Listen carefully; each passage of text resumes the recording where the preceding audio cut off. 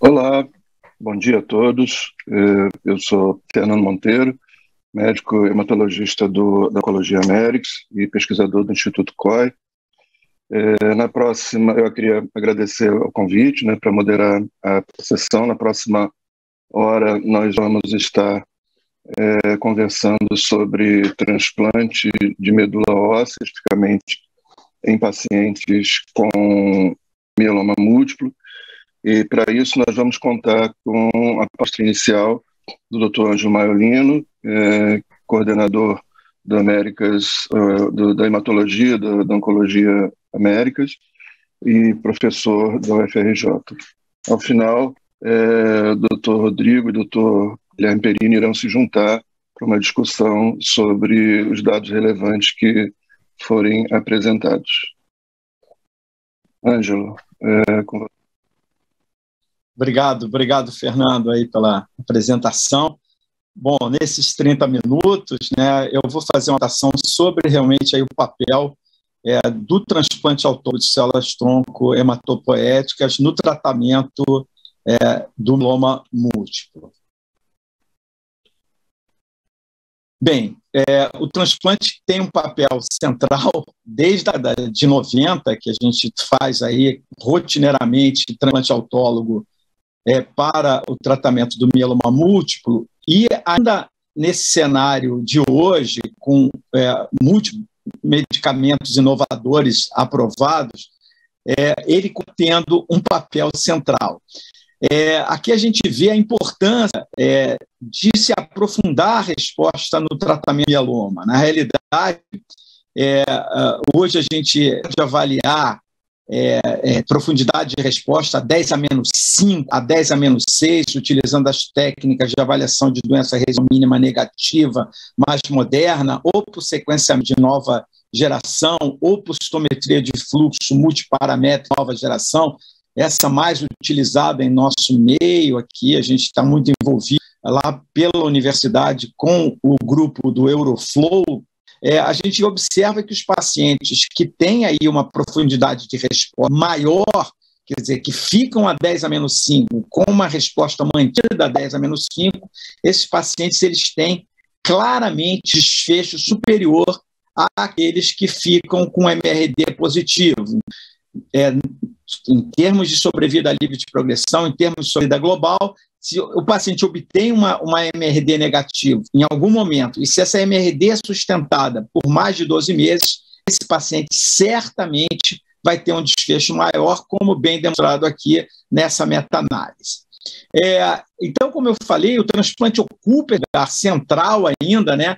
A gente tem aí uma discussão sobre a idade cronológica. A gente sabe que no Brasil a gente pode transplantar até os 75 anos de idade, mas Hoje a gente tem resultados muito satisfatórios com a terapia é, nessa faixa etária acima de 70 anos. Então, há uma discussão, a gente pode aprofundar no, na discussão subsequente a essa aula, é, se a idade cronológica é um fator preponderante. Na Europa, se transplanta até 65, nos Estados Unidos, se transplanta em qualquer faixa área. No Brasil, a gente pode ir até 75 anos. Mas, mais do que a idade cronológica, a gente deve levar muito em consideração a presença de comorbidades. Felizmente, a gente tem opções boas para os pacientes fora do cenário do transplante, mas o transplante permanece tendo um papel fundamental. Então, a gente, para entender bem como é, o, é a questão, é, é, a importância do transplante, a gente deve, deve olhar o transplante não como uma linha isolada de tratamento, mas como parte integrante de uma, da primeira linha de tratamento, e para isso a, o tratamento inicial, o tratamento de consolidação e o tratamento de manutenção vão desempenhar um papel fundamental.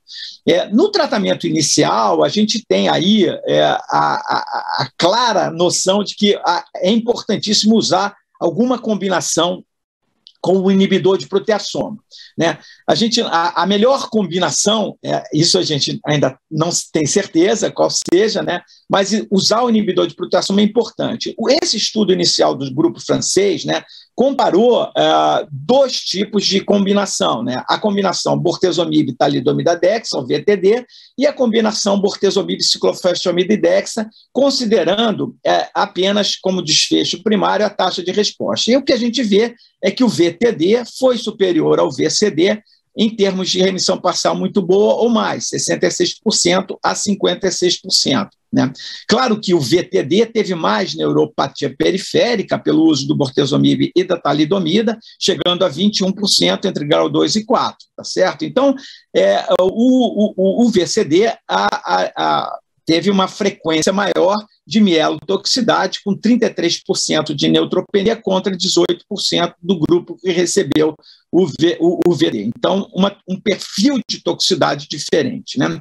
É claro que a neuropatia periférica do VTD é um fator limitador, né?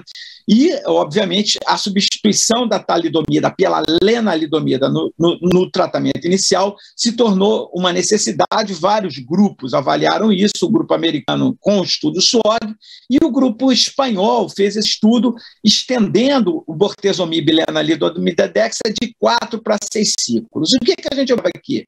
é que ao utilizar seis ciclos, o que se mostrou possível, RD, o um incremento na taxa de resposta. Após o sexto ciclo, né, e depois da indução, a gente vê aqui é, que é, isso claramente foi aumentando depois da indução, chegando a 33%, depois do desplante a 44%, e depois da consolidação, metade dos pacientes ficou em remissão completa após a consolidação, e a coleta de célula após os três ciclos foi perfeitamente viável de ser feita. Né? É, é teve essa comparação aqui indireta, né? É, na série histórica deles com o VTD, a gente vê aqui que é, nessa comparação o VTD chegou aí a uma taxa de resposta completa é, de 35%, e quando é, colocado lado a lado os seis ciclos de VCD e os seis ciclos de VD pelo, no grupo espanhol, a gente vê uma superioridade para o grupo que recebeu é, o VRD quando comparado ao grupo que recebeu o VCD em termos de taxa de resposta e de sobrevida livre. Então, não é um estudo randomizado, é um estudo com controle, né? foram é, na mesma concepção, seis ciclos de VRD, seis ciclos de VCD. Isso se dá provavelmente no perfil de toxicidade. A gente vê que teve muito menos energia periférica no grupo que recebeu o VRD, grau 4, 0, grau 3, 1, 1%, 1, 1 apenas, e muito menos descontinuação em função de toxicidade no grupo que fez o VRD, quando comparado ao grupo o VTD. Né? É, existe é, uma, também a perspectiva, claro, é, de tentar incrementar essa taxa de resposta, substituindo o bortezomib pelo carfilzomib. Tem esse estudo importantíssimo do grupo italiano, captado aí pela Francesca Gay, que mostrou um estudo de três braços, pacientes elegível, que tentou comparar o carfilzomib, ciclofosfamida contra carfilzomib, lenalidomida dexa, né, um é, com KRD é, recebeu o, o transplante é, upfront e o outro grupo é, fez o carfilzomib, é, lenalidomida dexa e não transplantou. Na realidade, a gente vê, quando compara é, o KRD né, contra o KCD, uma clara superioridade né, para o grupo do KRD, com 73% acima de remissão parcial muito boa, 57% é, de remissão completa e apenas é, 57% e 49% para o grupo que fez o KCD. Né? É, quando a gente olha a resposta sustentada, a gente vê que é, GMRD negativa, 10 a menos 5, a gente vê uma superioridade para o KRD mais transplante, Carfillenadexa mais transplante, 68%, contra 54% dos pacientes que fizeram 12 ciclos de KRD e não transplantaram, e contra 45% do grupo é, que recebeu o KCD mais transplante. A gente vê que isso se refletiu claramente em termos de sobrevida livre de progressão, uma superioridade para quatro ciclos de KRD mais transplante contra KRD12 contra KCD. Então, assim, claro, né, que é, o KRD é, é, é e a gente deve considerar aí o transplante upfront. Então, se refletiu em termos de PFS, se refletiu em termos de obtenção de uma maior profundidade exposta MRD negativo. Né? O do Cassiopeia é capitaneado pelo grupo francês, mais de mil pacientes, foram incluídos mais de mil pacientes no estudo, né? Ele, ele avaliou a incorporação do anti-CD38 à primeira linha de tratamento à ação de pacientes elegíveis para transplante. Eles utilizaram a nação com VTD, na realidade, então, assim, é, a, é, nesse caso, ainda se utilizou o VTD, né? como comparador, então foi VTD no controle, bortezomib, talidomida-dex, e VTD mais daratumumab é, no braço é, experimental, né? sendo que o daratumumab foi utilizado é, é, é, semanal nos ciclos 1 a 2 e a cada duas semanas no ciclo 3 a 4, então, para os ciclos de indução, período fixo, seguido pelo transplante com falando 200 miligramas por metro quadrado, seguido de consolidação. É, teve uma fase subsequente, uma segunda é, randomização, é, que se avaliou a manutenção, comparando daratumumab em monoterapia, feita a cada semanas, por um período fixo de tempo máximo de dois anos, contra a observação. Né? Então, há, há sim uma discussão, a gente vai falar isso um pouco mais no setor quando a gente falar um pouco da manutenção pós-transplante. Né? Então, nessa fase inicial, a gente vê aí é, que o, uh, o, desfecho primário era remissão completa dita, né? então se tem uma, uma superioridade por a VTD, é, quando comparado ao VTD é, pós-indução, quanto pós-transplante, quanto pós-cirurgiação, chegando a 29% dos pacientes remissão completa estrita ou mais, quando comparado a 20% grupo que recebeu o VTD, então uma melhor taxa de resposta. É importante ressaltar também que os pacientes no DARA VTD e da VTD, 90% chegaram ao transplante, então os ciclos de indução conseguiram levar o paciente de forma adequada ao transplante e a mediana de coleta de células foi bastante adequada nos dois grupos, 6,3 para o grupo do DARA VTD contra 1,9 no grupo que fez o VTD. Mais paciente usou Mozobil no grupo do, do DARA VTD, mas a coleta após quatro ciclos foi perfeitamente factível, com uma boa quantidade de células CD34. Então, o desfecho primário foi alcançado e também um mero desfecho secundário, que foi uma superioridade em termos de sobrevida livre de progressão para o grupo que fez o DARA-VTD, quando comparado ao grupo que fez o VTD. Uma mediana não alcançada para o grupo do DARA, para 51 meses para o grupo que fez é, o VD. E a sobrevida global ainda não foi tem número de eventos suficiente, não foi alcançada a mediana, não há uma mas sim já se observa uma tendência favorecendo o, o, o, da VTD quando comparado ao VTD é também aqui em termos de sobrevida global. Né? É, quando a gente olha para a questão do risco citogenético, eles consideraram alto risco deleção do 17, translocação 414, translocação do 1416, é, a gente observa que sim, há, há, uma vantagem é, para o DARA VTD, tanto no alto risco quanto no baixo risco, no entanto, não foi completamente contornado a, a, o, o, o, o fato de ter, ser alto risco é, permanece sendo um fator desfavorável. Parcialmente se contornou essa questão, mas o desfecho no grupo do risco estándar é, é, foi superior particularmente que usou o dado VTD.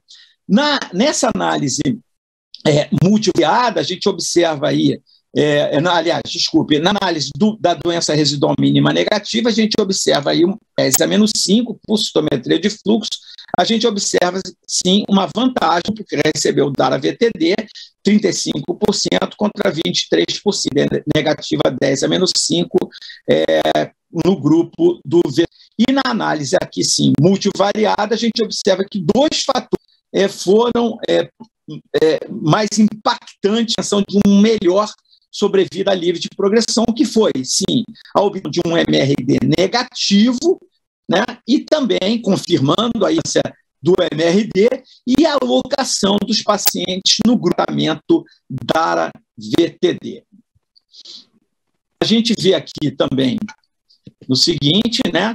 É, é claro que é, a, a, grande pergunta né, que emerge é quem é superior, o VRD é 4 a 6 um estándar, né, particularmente nos Estados Unidos, é um estándar de, é, de terapia de indução pré-transplante, e Morro, o principal autor é, do, do estudo Cassiopeia, fez comparação indireta, esse, através dessa, dessa análise, né, é, comparou, sim, o DARA-VTD contra VRD, o DARA-V contra VCD e o DARA-VTD contra VD chegou aí um, a um hazard ratio de 0,47 por dar a VT comparado ao VRD nesse controle histórico, considerando sobre livre de progressão.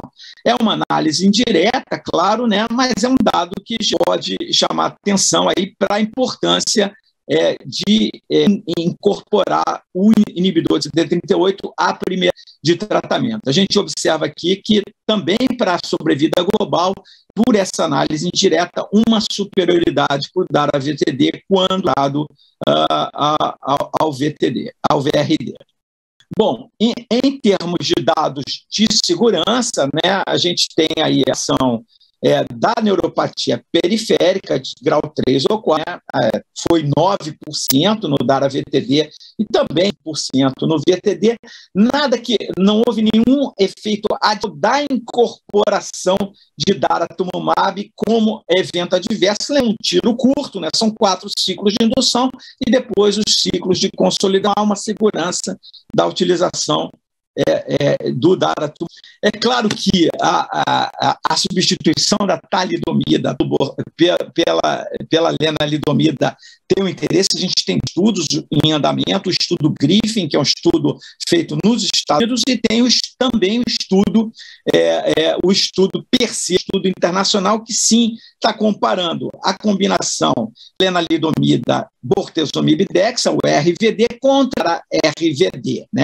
Então, esse aqui é o estudo GRIF, que já tem resultados apresentados, né? o Perseus não tem, né? Então, dar RVD contra RVD, um desenho do Cassiopeia, quatro ciclos de indução, seguido transplante, seguido de uma consolidação em dois. E a manutenção aqui é um pouco diferente do Cassiopeia, há uma, uma ação comparando lena, lenalidomida, né? o grupo que recebeu RVD vai fazer só lena, e o grupo que recebeu dar RVD vai fazer uma, combina, é, uma combinação de lenalidomida mais Daratum já tem resultado inicial para o para o, a primeira, antes da manutenção, então a gente vê aqui uma vantagem né, em termos de, é, de taxa de resposta, é, favorecendo o DAR RVD, 71% a emissão uma parcela muito boa, contra 56% do grupo que recebeu o RVD, é, tanto é, em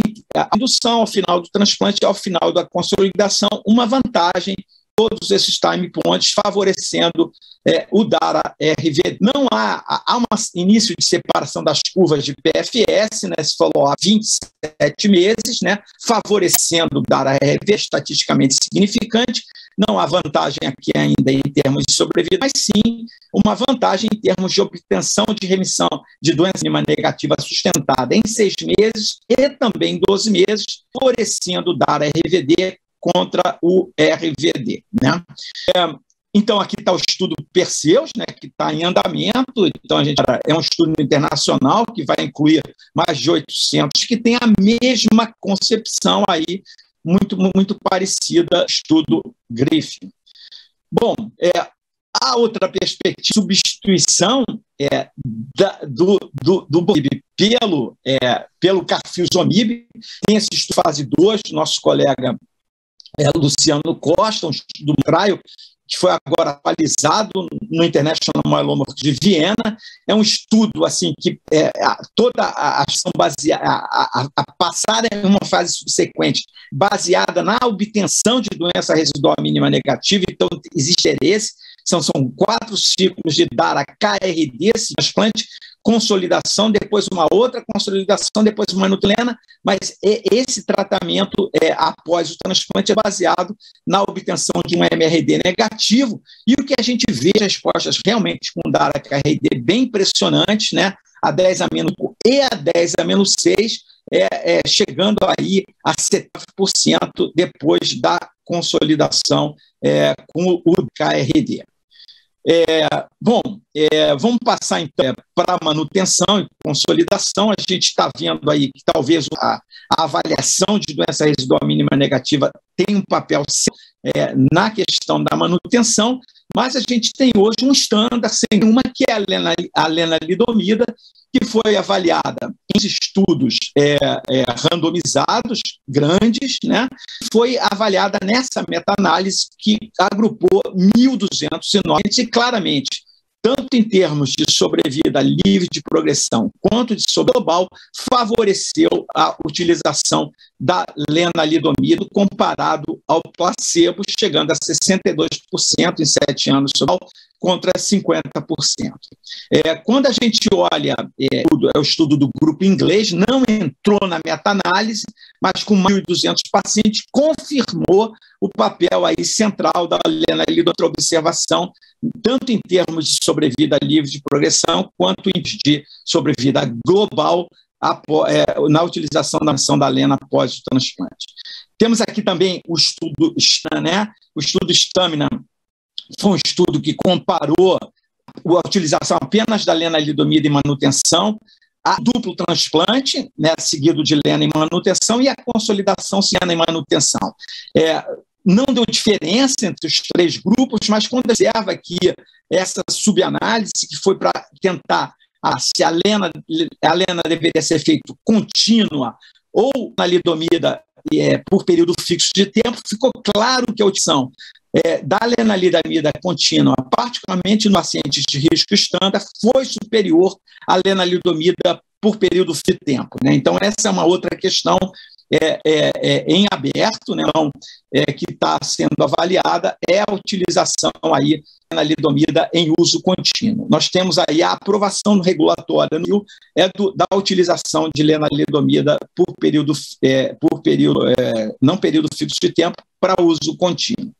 Então, é, um, um, um, resumo né, de, do, do, das recomendações de tratamento. Então, fica claro que é, no, o transplante é um é, é, é, é, é hoje é, o estándar para os pacientes que são consideráveis elegíveis, ele, o tratamento de indução desempenha, sim, um papel. A gente deve é, é, é utilizar alguma ação que inclua um inibidor de proteassoma. É, sem dúvida, o imunomodulador demonstrou superioridade, possivelmente modulador vai ser a lenalidomida, mas a gente sim a aprovação regulatória aprovada do DARA-VTD, então VTD, DARA-VTD é uma opção para a gente aqui, tá certo? E ação com corticosteroide, e a questão é do uso ou não do inibidor 38 na primeira linha. A minha sensação clara é que vai incorporar os, o anti-CD38, ele já está incorporado a partir do Cassiopeia, e ao receber o resultado final do briefing, possivelmente o DARA-VRD possa passar a ser um estándar. Em dois estándares aprovados no Brasil, que é o VRD, o RVD, né, e o DARA-VTD, né, no futuro, possivelmente para os pacientes de alto risco citogenético, a gente vai poder é, substituir o, o, bortezomib então dar a KRD, é, vamos aguardar os resultados finais do ano, né, e, e, de outros estudos, é, estudo Concept, por exemplo, que é um estudo desenvolvido é, na Alemanha, para ver o papel dessa combinação com o DARA-KRD. Como eu falei antes, upfront é o estándar, então de 4 a 6, a gente pode recomendar prorrogar, é, uh, se a gente optar pelo VRD, é, prorrogar, como os, os espanhóis fazem, até o sexto ciclo, porque isso incrementa a taxa de resposta, mas a, a, a, sugestão é que se faça a coleta de célula aí em torno do terceiro ou do quarto ciclo. Quando a gente usa o DARA-VTD, a gente vai utilizar dentro daquele padrão de quatro ciclos de indução, seguido é, é, do, do, transplante e seguido é, da manutenção. Né? Então, é, é bastante controverso o papel da consolidação. A gente entende que, ao, ao utilizar a lenalidomida de manutenção, provavelmente a consolidação seria é, dispensável, isso ficou demonstrado aí no estudo Stamina. No entanto, a consolidação faz parte integrante tanto do estudo Cassiopeia, quando a gente faz o DARA VTD, quanto, por exemplo, do estudo GRIF. Então, se você desenhou o teu protocolo para fazer o Cassiopeia, se você planejou o seu paciente, aliás, para fazer o Cassiopeia, você vai fazer quatro ciclos de DARA VTD, transplante e mais a, a, a consolidação com dois ciclos e vai seguir com a manutenção. O papel da manutenção, então, é claramente a lena lidomida é o estándar, né? Há uma dúvida ainda em relação a período fixo de tempo ou é, até a progressão. É, na Europa, se usa por período fixo de tempo predominantemente, nos Estados Unidos se usa mais até a progressão. A nossa recomendação aqui no Brasil é utilizar até a progressão, é, mas é claramente com o bom senso de avaliar adequadamente o teu paciente, em, tanto em termos de resposta quanto em termos de tolerabilidade à lenalidomida em manutenção. É, o uso do inibidor de proteassoma ele ganhou bastante popularidade, é, no, particularmente quando se fala é, para o grupo de citogenética de alto risco. A gente tinha o estudo do grupo Rovon com manutenção de bortezomib, que mostrou vantagem para a utilização no alto risco. No entanto, é, essa manutenção é, com é, inibidor de proteastoma, ela não, não, não está ainda aprovada.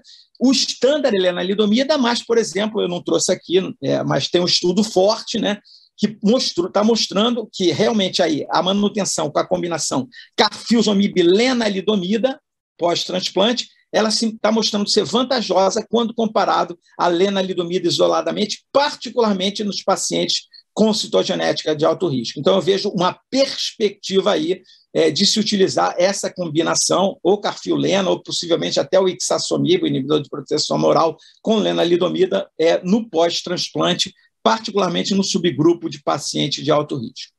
E fechando aqui, né, é, vocês veem que nossa prática hoje, é claro que no sistema privado de saúde não está não tá diferindo tanto assim é, do, do, que é, por exemplo, a recomendação do guideline da, da, do, do, grupo europeu, tanto do grupo da, do IRA quanto da ESMO, esse guideline que foi recentemente publicado, agora em 2021, vocês veem que é, é, o transplante, é, se o transplante é se o paciente é considerado elegível para o transplante, vai se usar a indução com VRD ou com DARA-VTD, falando, claro, que o, o grau de evidência para dar a VTD é de 1A e do VRD, que está baseado aí no SOG, é um grau de evidência de 2B.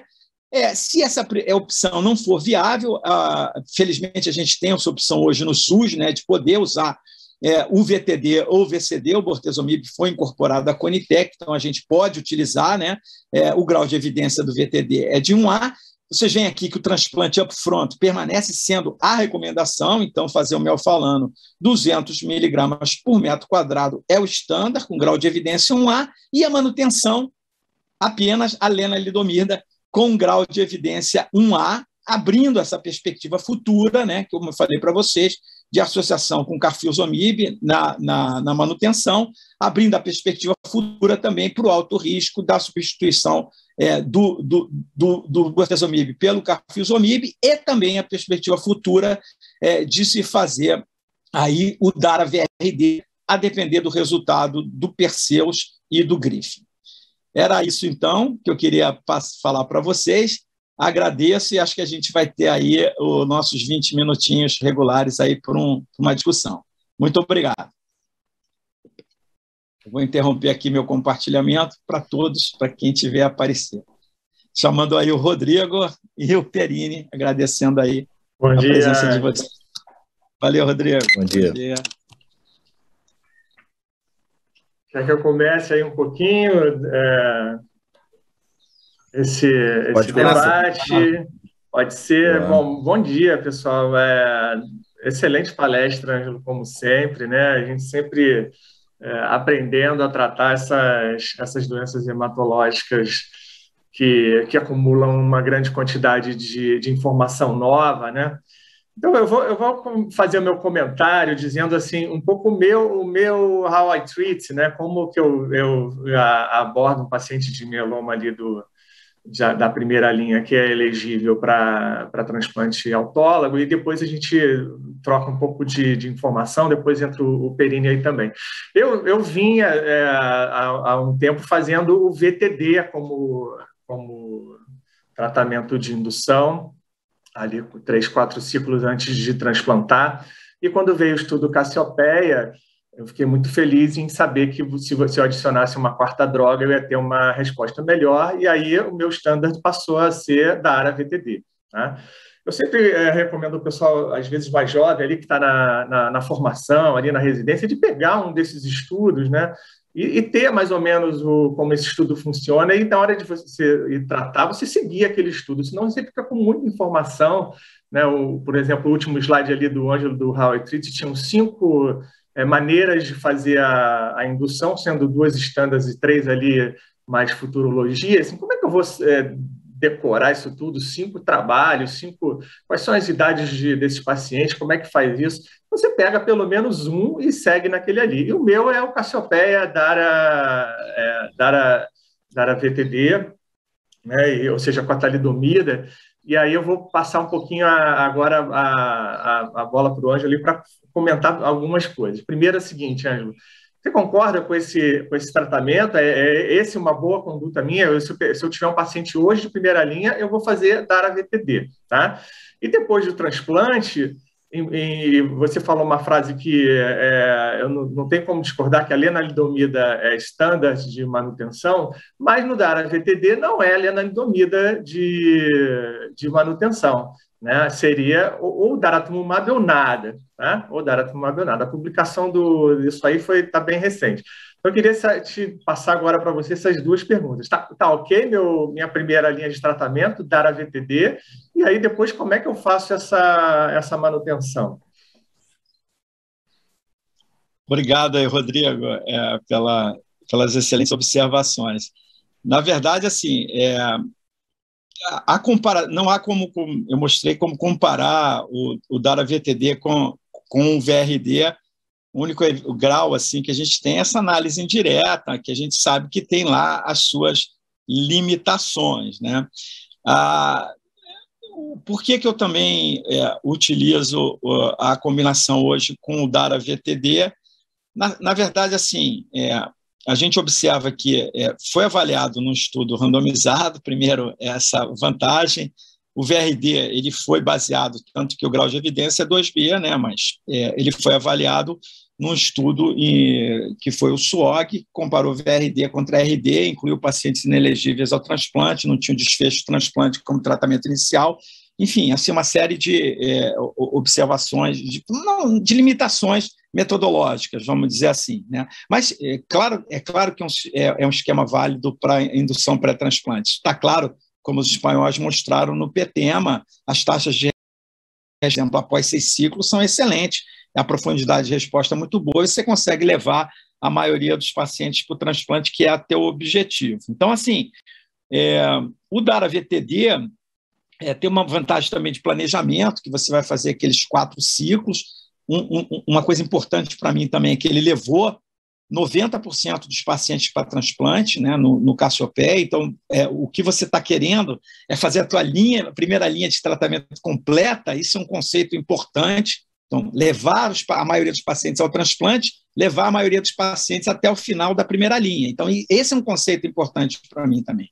Então, quatro ciclos transplante, dois ciclos, você consolida e entra na manutenção. Então, ele deu tanto em termos de taxa de resposta a superioridade para um estándar que era o VTD, quanto em termos de PFS, que foi até surpreendente. Né? Então, inclusive, a aprovação regulatória no Brasil se deu muito pelo desfecho secundário que foi o primeiro país do mundo, inclusive, né, que aprovou o, o, o, o Cassiopeia. Eu me lembro até na apresentação na ASCO do Felipe Morro, eu, eu tinha conversado com ele inicialmente, ele, na apresentação, ele fez menção que o Brasil teria sido, teria não, foi o primeiro país do mundo a aprovar, na ASCO a apresentação ainda estava correndo, e a Anvisa já tinha publicado, baseado nesse, né, particularmente no PFS. Né?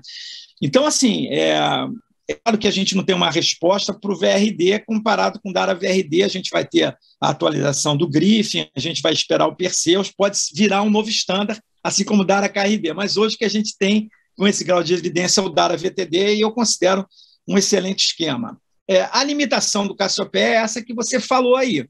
Né? É, é, é, ele tem que sempre se defender, o Felipe, né? por que, que não fez manutenção com Lena? Né? Ele fala, não estava aprovado ainda na Europa, a gente queria fazer um estudo é, é, também que tivesse um olhar farmacoeconômico. Ele mudou a administração do daratumumab para, em vez de cada quatro semanas, a cada oito.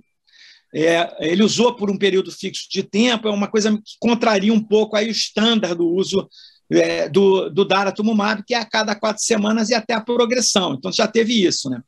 É, e comparou com um grupo que é, acabou estratificando em quatro grupos na manutenção e um grupo acabou usando VTD e observação.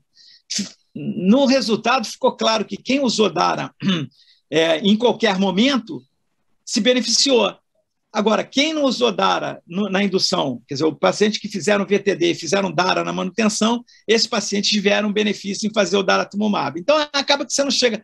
A única conclusão é que daratumumab seria importante em qualquer momento, tá certo? A gente tem usado a manutenção com Lena para esse grupo que a gente está fazendo é, é, DARA VTD pelo grau de evidência é, da manutenção com Lena, mas a, a, não tem resposta também, porque ele não foi avaliado é, dentro do estudo Cassiopeia. Eu uso é, por entender que está é, aprovado, desculpe, por entender também que é, é, pelo grau de evidência da, da meta-análise, do estudo inglês, enfim. Agora, se você me fala assim, metodologicamente, a gente está juntando uma coisa com a outra. Então, há uma recomendação de utilização, porque está aprovado, mas eu entenderia, eventualmente, um paciente que entrou em MRD negativo após o dar a VTD, após a consolidação, né, é, de fazer aí é, não manutenção. Mas eu, eu recomendo a manutenção. Dar a, dar a cada oito semanas, para quem usou dar a VTD, não deu nada, não deu diferença nenhuma. Então, assim, não haveria nenhuma vantagem, tá certo? Perfeito, Ângelo. Obrigado pela, pelas considerações. É, Perini, tua, tua vez aí de comentar alguma coisa. Vamos lá. Bom eu dia. tenho perguntas bem. Bom dia, gente. Obrigado aí pela por oportunidade de participar aqui e tirar minhas dúvidas, porque é isso que você falou, Rodrigo. Assim, o mieloma eu acho que é uma área que tem passado por uma transformação absurda. Assim, cada dia tem um novo estudo com uma nova combinação. Muitas das vezes essa essa comparação é difícil, né, Ângelo? E aí a gente acaba ficando um pouco uh, com uma certa dificuldade em interpretar todos esses dados. Eu, eu quero focar num grupo específico, né? Uh, na verdade, no, no, paciente de alto risco. Uh, muito se discutiu ainda hoje para esses pacientes qual a melhor indução, qual a melhor consolidação, como você falou, e até mesmo o papel, já que a gente está numa sessão de transplante, é, papel do transplante tandem, uh, qual o real benefício disso e qual é a prática geralmente feita no mundo. Eu acho que isso tem um pouco mais de impacto agora, em especial com a mudança da lenalidomida para linhas mais precoces, pela dificuldade talvez de mobilização. Como que você tem feito com esses pacientes, Ângelo? Você, obviamente, né, a gente tem tentado fazer no maior número de pacientes a estratificação genética ao diagnóstico. Esses pacientes, você muda alguma coisa na indução? Você propõe transplante uh, tandem? Você congela para dois? Como tem sido sua prática nesse, nesse cenário de pacientes de alto risco? Irine, aí, obrigado aí pelas excelentes considerações. É, é na, na, verdade, esse, esse cenário do alto risco, eu, eu acho que a gente, primeiro, deve procurar fazer, né? pelo menos aquele painel que considere mais reduzido, que é, inclua a deleção do 17P, a translocação do 414, a translocação, eventualmente, a amplificação do 1Q, é, quando a gente faz os três primeiros, dá uns 15% dos pacientes. Quando inclui a amplificação, pode chegar a 40%. Mas se a gente se detiver aos, a, as três primeiras, né, é, e é, é, claro que é, não, não, muitos convênios não, não pagam, às vezes o paciente tem que tentar um reembolso, mas é, o valor aí se tornou factível, né? particularmente quando se compara aí ao custo de fármacos, enfim, eu acho que a gente tem que tentar fazer sempre para ter pelo menos essa, é, é, essa, esse dado inicial. A gente vai ter, isso eu queria chamar a atenção de vocês, a gente vai ter um, bastante trial no Américas, não no cenário da primeira linha, mas sim no cenário da recidiva, e ter essa informação para a inclusão dos pacientes no futuro, nos estudos de bioespecíficos, enfim, que a gente vai ter aí, é, seria também bastante importante. Então, a gente tem que ter um olhar nesse planejamento completo do nosso, dos nossos pacientes. Então, procurar fazer. É, a segunda questão é se a gente é, usa a estratégia de, de, diferenciar o tratamento. O que, que eu acho assim para o transplante, né, para o alto risco? Né? O tandem, é, é, bom, primeiro, dois estudos importantes. O Stamina, infelizmente, é, que eu mostrei na apresentação, ele não mostrou é, vantagem para o tandem, né? No entanto, o Stamina tinha limitações, ele não previa todo o tratamento, a fase inicial de tratamento, o paciente fazia qualquer tratamento, tudo bem que a maioria fez VRD, mas é, ele não fazia isso, ele randomizava após o transplante e fazia as comparações. A lenalidomida em manutenção, é o que é dito, anulou aí, vamos dizer, o efeito é, do, do, do tandem. Já no estudo do EMN, do Grupo Europeu Vovon, que foi publicado agora na Lancet, né, do, pelo Michele Cavo, mostrou, é, é, tem um grau de evidência aí para o tandem, particularmente quando você olha é, o alto risco. Né? É, no entanto, assim, tem limitações também. Um estudo que começou há 10 anos atrás, é o problema dos fase 3 de iniciativa de investigador, que levava 10 anos para. Então, assim, é, a indução foi com VCD, então suboptimal, não usou, não usou imunomodulador na indução, e o braço comparador foi com VMP, quer dizer, então assim, não estava é, datado, né? Tá desatualizado o desenho, né? É, mas mostrou vantagem. Então, assim, é, eu, eu acho assim, é, é que sim, a gente poderia, é, deveria, eu, eu diria assim, que até para congelar, é, me fizeram essa pergunta é, num evento anteontem. É, eu é interessante, né? Congelar, abrindo uma perspectiva de fazer um tandem, né? E é, fazer é, o, o tandem a depender é, da tolerabilidade do paciente ao primeiro transplante e da aceitação. Nem sempre o paciente vai querer fazer, né? Ou é, a gente vai ser viável fazer o segundo transplante. Mas, ne, ne, particularmente na deleção de 17, entendeu? Eu, eu, eu, eu consideraria essa possibilidade. Tá? Então, eu considero essa possibilidade. É, no passo subsequente, que é importante também para o alto risco, seria a questão da manutenção. Né? Assim, eu falei na apresentação, havia muita confusão no alto é, porque as pessoas usavam bortezomib isoladamente, porque nem tinha lena aprovado e tinha o dado do Rovon. A recomendação hoje é usar lena como estándar, tá certo? Se você quiser associar o bortezomib quinzenal, lembrando que é off-label, né, é, é, mas associa, né? É, eu estou muito impressionado com o dado do estudo da Francesca Gay com Carfil Lena. Carfil é feito por um período fixo de tempo, dois anos, para o alto risco. Realmente estavam mostrando vantagem quando comparado à lenalidomida, mas, mais uma vez, aqui é off-label, não está aprovado essa indicação ainda no Brasil, mas eu acho que pode haver uma perspectiva para a utilização.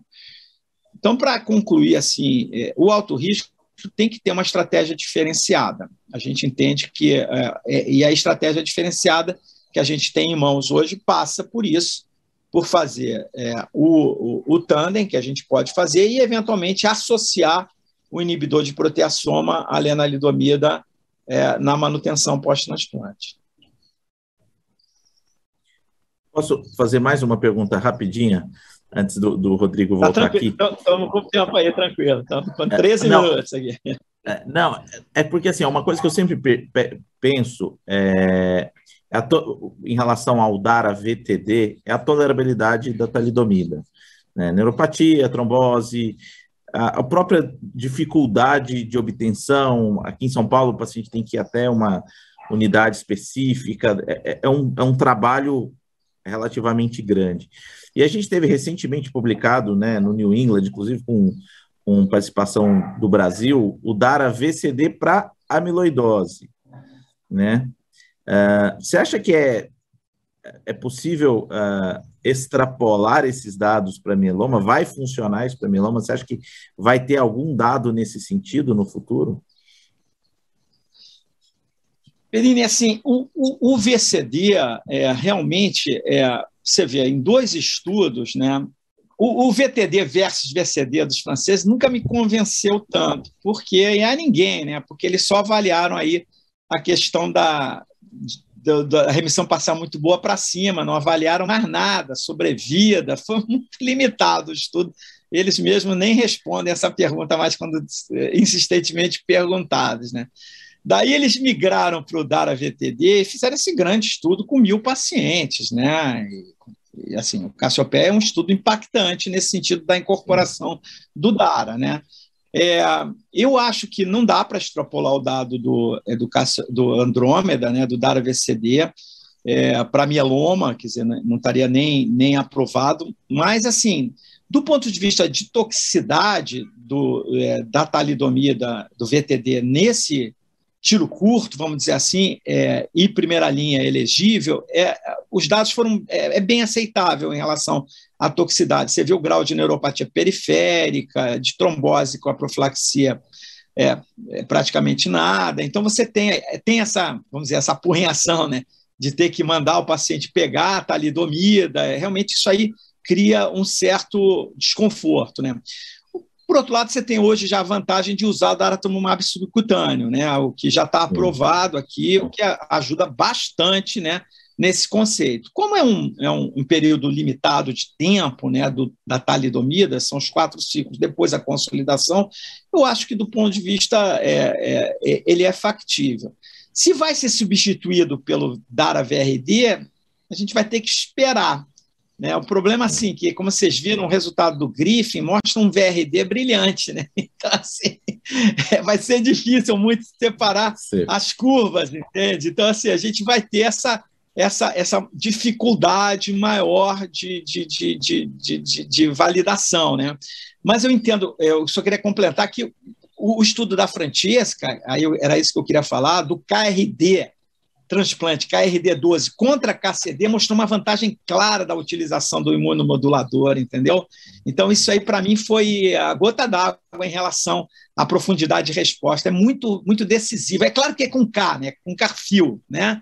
Mas uhum. você vê, KRD versus KCD, mais uma vez, o grau de evidência aí, tanto em profundidade de resposta, PFS e MRD sustentado. Então, eu acho que o imunomodulador tem um papel importante na, na indução, sabe? Maravilha. Ângelo, mais uma aqui de, de, de curiosidade, né? A gente está tá na sessão do transplante, então vou, vou voltar ali para o transplante em si. A gente está parado no MEL 200 há, há, há que, 15 anos, 20 anos, né? E, a, e, e a, a gente está numa sessão né, do transplante que toda sessão de transplante a gente não fala do transplante, a gente vai falando do que está em volta. Quando fala do tandem é repetir o, o MEL 200, né? Tem alguma é. coisa nova, Angela? Alguma adição de droga, aumento de dose de melfalante? Tem, tem alguma coisa nessa área? Eu não, não desconheço completamente. É, se explorou bastante isso por um tempo, né? É, teve um estudo com mel 220 que só acrescentou toxicidade, teve um estudo que incluiu o bortezomib, que também é, é, no, no, condicionamento que morreu na praia. O mais promissor é o estudo do PETEMA com bulsufano, né? E o estudo, um estudo fase 2 do MD Anderson também, que é, com o bulsufano oral, que já, já foi embora, né, teve muita toxicidade, muito VOD, então isso aí caiu por terra completamente. Mas com o, o venoso, com aquele esquema de, é, de dose controlada, né, né, por, por nível sérico, né, ele mostra, está mostrando um grau de, de, superioridade em termos de, é, de PFS, né? O problema é que, com tanta coisa boa né, na indução, na consolidação e na manutenção, você vê que esse efeito do transplante em si ele acaba sendo, sendo anulado. Então, eu, eu, eu acho difícil que se consiga acrescentar algo mais. Né? Então você acaba ficando com temor um pouco da toxicidade do busulfano, você fica ali, teria que ter assim uma diferença de sobrevida global, né, com um grau de evidência muito grande, com um follow-up muito prolongado, a meu ver, para a gente associar alguma coisa ao meu falando. Por outro lado, reduzir dose, como a gente fazia para o idoso, tá, lembra do mel 140, do duplo mel 100, para mim isso foi embora não tem justificativa. Ou você vai usar mel 200 e vai transplantar, ou você não vai transplantar e vai fazer os excelentes protocolos que a gente tem hoje para o inelegível, entendeu? Então acho que acho que não vai não vai rolar não. Acho que vai ficar vamos ficar no mel 200 até o transplante o transplante cair por terra, até a história do CAR-T, mas eu acho que o mel 200 e o transplante ainda tem aí uns bons 10 anos daí pela frente, eu diria, a não ser que o CAR-T venha para a primeira linha e mostre um resultado absurdo com baixa toxicidade, o que vai levar aí pelo menos uns 5 a 10 anos, né?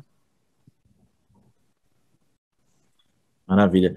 Ângelo, mais uma pergunta. Uh, é, você, obviamente, está por dentro de todos os dados e o que eu tenho visto é uma magnitude de medicações novas para mieloma, ah, chegando, um estudo clínico, o que está brilhando no seu olho? Assim? O que, você acha que vai realmente ser uh, transformador dessas novas medicações que estão chegando?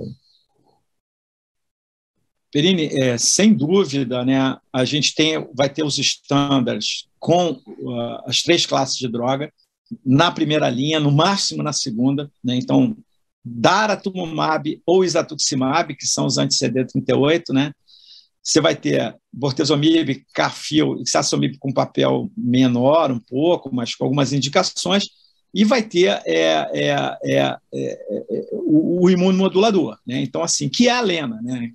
Talidomida vai ficar com um papel bastante secundário e a vinda da pomalidomida vai ser para o tratamento da, da recidiva. Sem dúvida nenhuma, é, é, eu diria que são os anti-BCMAs, que vamos dizer, são as estrelas aqui da, da companhia, Claro que, particularmente, como mostrei na sessão anterior, os resultados do, do são impressionantes. A gente está na expectativa da aprovação re, regulatória do primeiro CARTI para mieloma, né? a gente tem essa perspectiva com o Ciltacel. É, eu acho que vai ser transformador, sem dúvida. Eu acredito que é, os biespecíficos também, a gente, como eu falei, a gente vai ter alguns estudos é, no, no, no, pelo Instituto é, com é, é, os biespecíficos, pelo menos talvez quatro ou cinco estudos já para 2022 com biespecífico, então a gente tem que ter aí, e todos eles para é, entre uma três linhas de tratamento e alguns estudos com três ou mais linhas, então eu acho que eles vão ser assim, é, vão ocupar esse espaço é, é, do tratamento da recidiva, mas eu acho que realmente o, o anti-BCMA é o, é, é, é, tem um destaque muito importante, para as outras drogas, assim, é, é, tem um novo imunomodulador, um novo cell mode, que eu acho que pode ser também ter um papel importante no tratamento é, da recidiva. Melfuflen, Celine, Exor, é, é um papel mais secundário, eu diria, não consigo identificar um destaque muito grande. E, finalmente, o, o Venetoclax, né? não podemos esquecer nunca, né? É, é, para a translocação 11-14 para a expressão alta de BSL2, eu acho que em, em, associação com o inibidor de proteasoma, ele também vai ganhar um papel é, é, relevante aqui, né? Mas eu acho que, respondendo a tua pergunta, CARTI e vamos ver aí comparado com um biespecífico e outros alvos também. A gente vai ter um, um biespecífico, por exemplo, com outro alvo é, no mieloma. Então, acho que a gente tem aí um, um conjunto e a gente está buscando particularmente participar nesse momento dos ensaios clínicos. Né? Maravilha, acho que isso é super importante, né? É, o Brasil é uma estrela no mieloma, né, Ângelo? É, vocês, né, você, Vânia, Edivan, tem, tem capitaneado isso aí, e os resultados estão estão aparecendo claramente. Parabéns, viu? Obrigado, obrigado, Rodrigo, obrigado, Perini, aí, pela, pela apresentação e pelas palavras aí. Obrigado pela, Acho que a gente tá... pelas respostas. Valeu, Rodrigo. Fechamos então, né? Fecha. É. Bom, pessoal, é, muito obrigado, Ângela, pela mais uma brilhante apresentação e também essas grandes intervenções, perguntas que o Rodrigo Portugal e Guilherme Perini fizeram. Acho que mieloma é, teve uma discussão muito abrangente, muito interessante. E nós seguimos agora, é, pedindo a audiência, nós vamos fazer um intervalo de 15 minutos e depois vamos retomar com uma discussão, é, um tumor board com avaliação de casos clínicos. Muito obrigado. Obrigado. Bom dia a todos.